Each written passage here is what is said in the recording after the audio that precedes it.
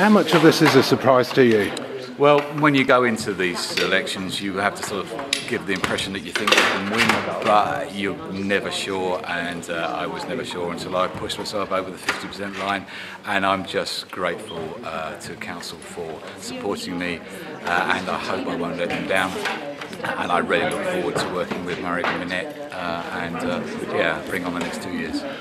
What are your plans for the next two years? What would you like to see the, the happen in the union? Uh, early days yet, Johann. Uh, I, you know, we must acclimatise and settle, uh, and um, before we start making big announcements, uh, Meurig is the lead man, and I follow his lead.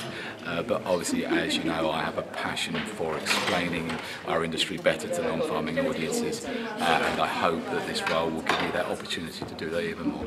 There's a lot of support out there for you on social media and that kind of thing. You're very media savvy We've had a new election system with weighted voting this time.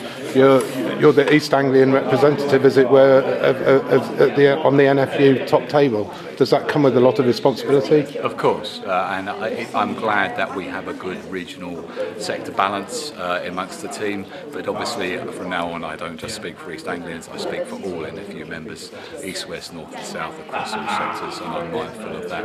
Um, yeah, social media is fun uh, and it's powerful, uh, and I'm glad that I'm slightly uh, further up the tree than someone using it.